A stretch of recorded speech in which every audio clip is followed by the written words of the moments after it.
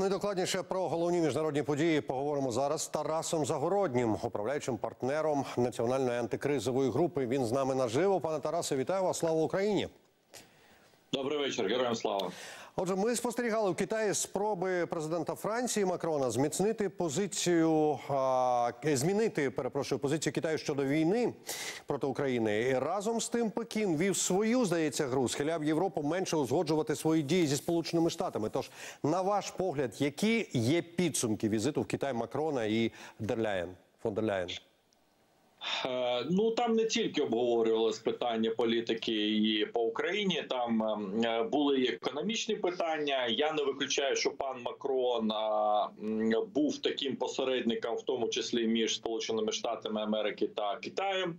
Тому що там вже була зірвана зустріч е, між Блінк... е, був візит зірваний Блінкена, коли був збитий метеорологічний метеорологічна куля на сполученими сполученими штатами Америки.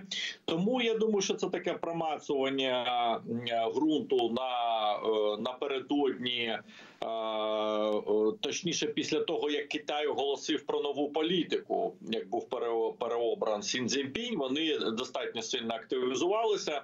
Так, е, тут Франція і власну гру хоче зіграти. Е, Тут і Китай хоче відірвати Європу від е, впливу Сполучених Штатів Америки. Тобто є декілька моментів, про які, які ми бачили, і тут до речі, досить відчутна різниця між тим, як приймали Макрона і як приймали фон дер Ляйн. Фон дер Ляйн була достатньо скорочена програма без ентузіазму, то що можна назвати. А от Макрон, Макрон там відчув всі.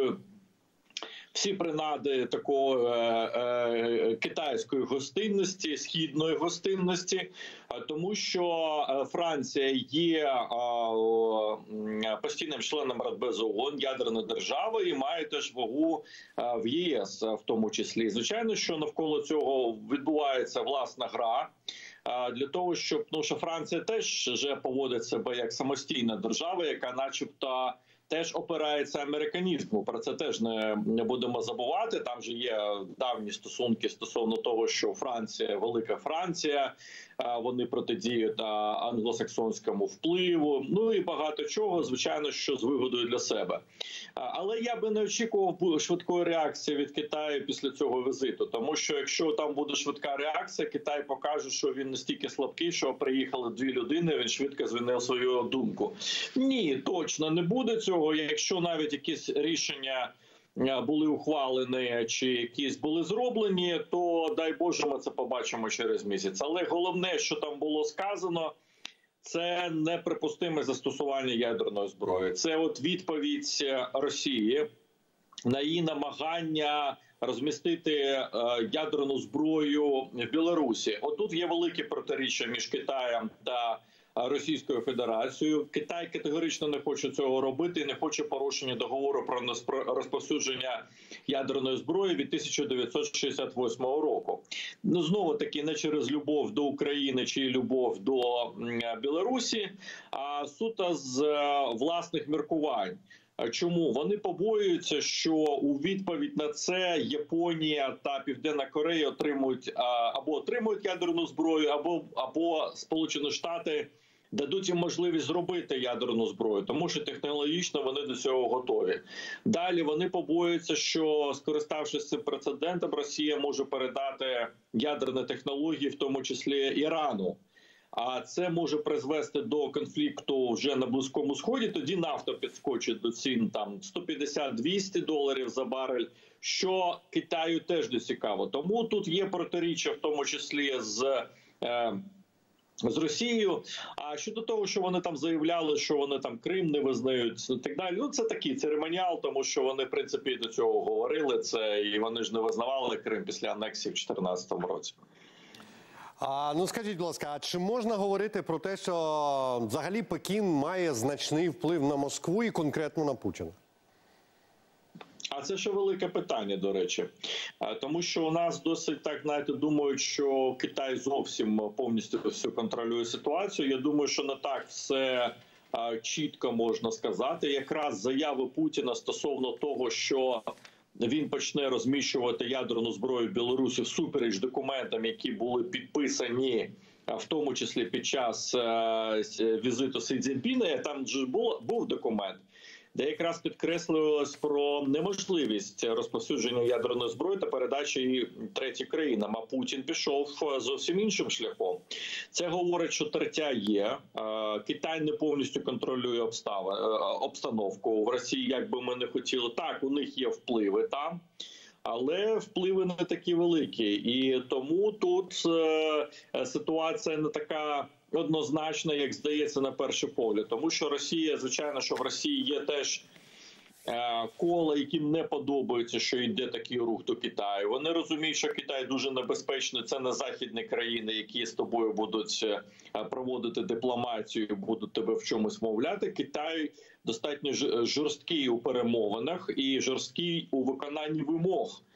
Або зобов'язань, які поклала на себе країна, тому в даному випадку, звичайно, що як я вам сказав, поки що вплив достатньо обмежений. Можливо, наступний президент буде більш підконтрольний Китаю, тому що залежність від Китаю буде зростати, і наступний президент Росії не зможе анулювати ті угоди, які е, були підписані за часів Путіна. Угу, Ну е, поки що е, залишимо тему Китаю, тому що ще кілька питань дуже цікавих у мене до вас є. Путін зосередився на зміцненні економічного контролю над Білоруссю. Про це інформує інститут вивчення війни за підсумками зустрічі у Москві двох диктаторів Путіна і Лукашенка.